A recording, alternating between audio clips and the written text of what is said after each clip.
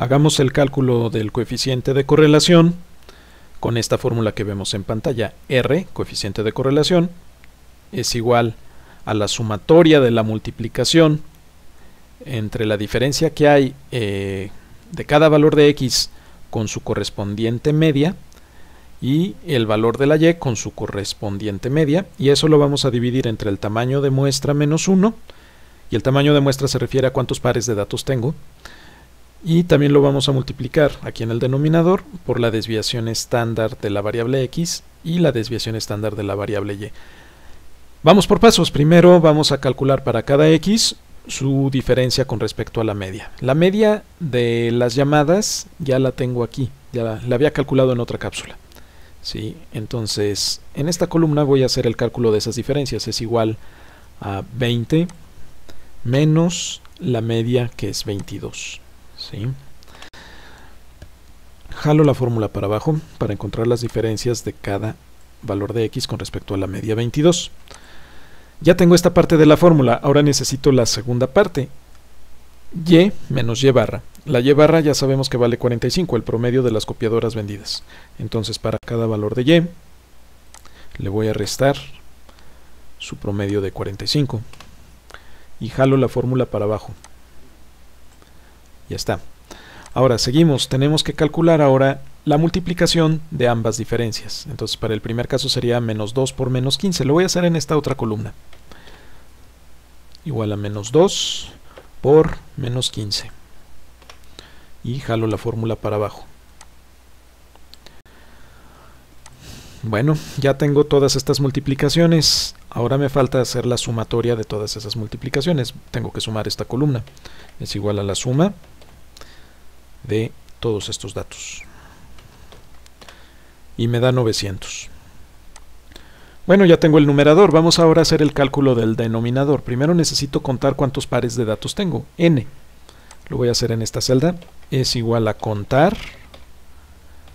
Y luego abro paréntesis y selecciono todos los datos x. Con eso me basta para que me haga un conteo de cuántos pares tengo. Tengo 10 pares de datos. Seguimos, ahora hay que calcular la desviación estándar de la variable x. Es igual a des, me faltó el signo de igual, es igual a desbest.m. La m significa que estamos trabajando con una muestra y no con toda la población. Ahí está.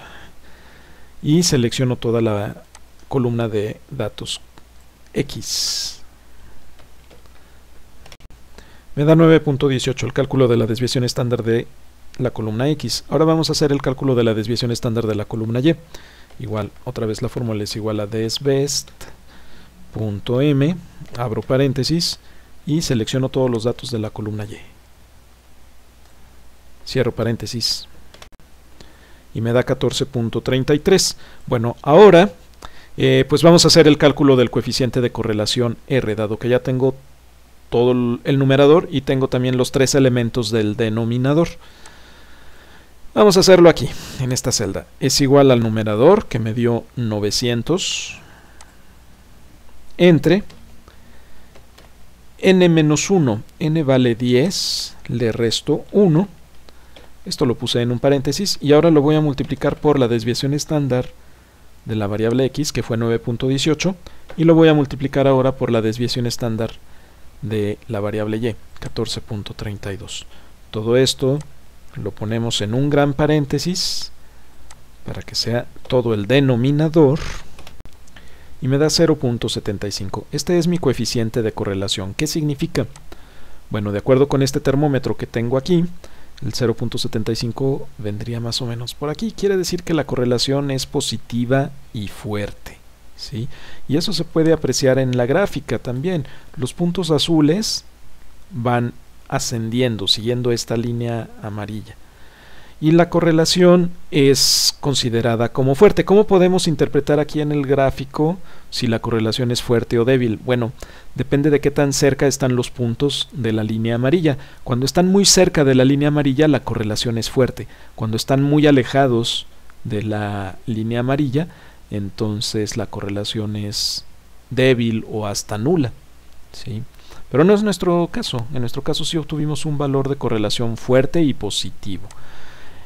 ¿Qué conclusión debemos sacar de esto? Bueno, pues que mientras más llamadas de venta se hagan, más copiadoras se van a vender.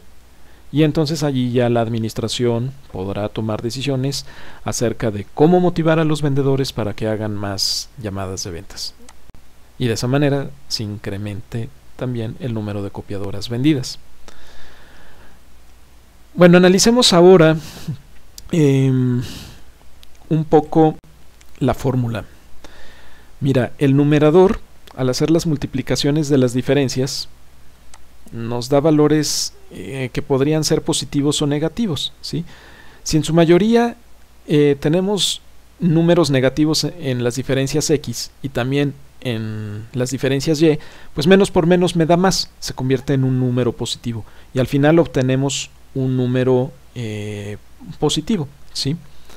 Si por el contrario en un lado fuera el signo negativo y en el otro lado, en la otra columna, en la otra variable, fuera el signo positivo, entonces pues menos por más me da menos, ¿sí? Y entonces obtendríamos en esta columna muchos valores negativos, con lo cual el gran total sería un número negativo.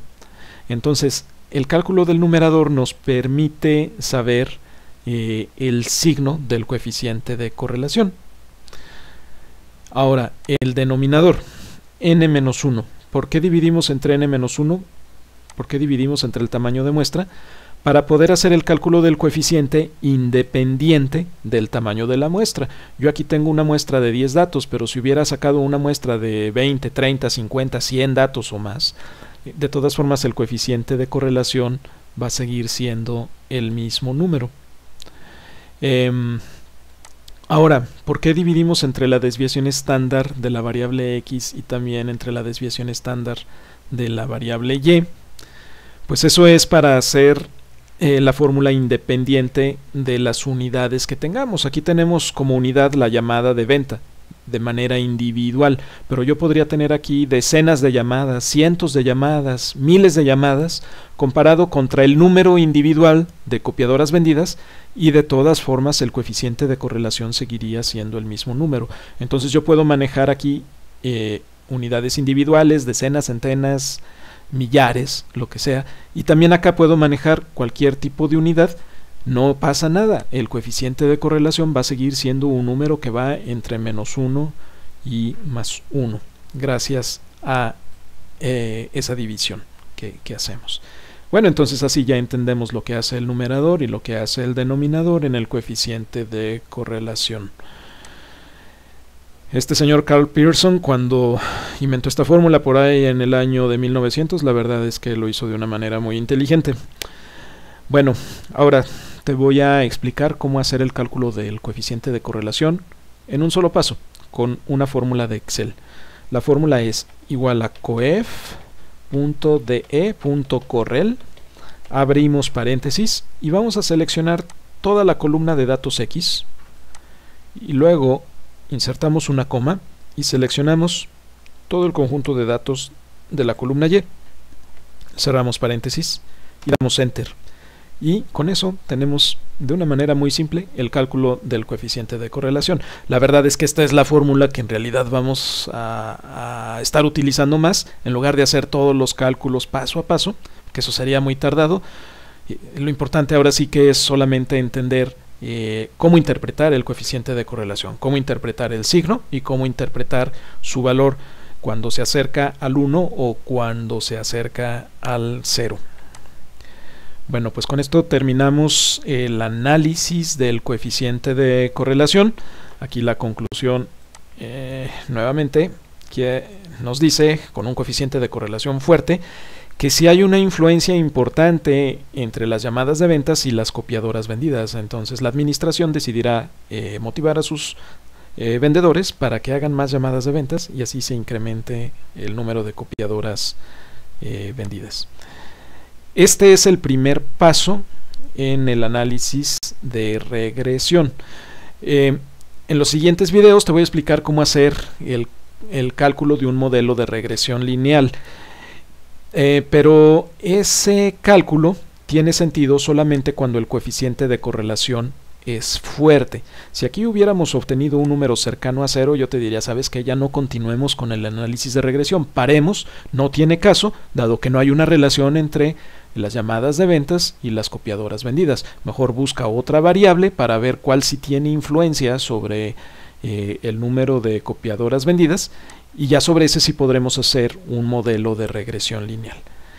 Afortunadamente en nuestro ejercicio sí tenemos un coeficiente de correlación fuerte, entonces sí vale la pena hacer el análisis de regresión, eh, hacer ese modelo de regresión lineal que nos permitirá eh, pronosticar cuál, eh, cuáles, cuántas copiadoras se van a vender dependiendo del número de llamadas que hagan los vendedores. Gracias por tu atención y te espero en los próximos videos.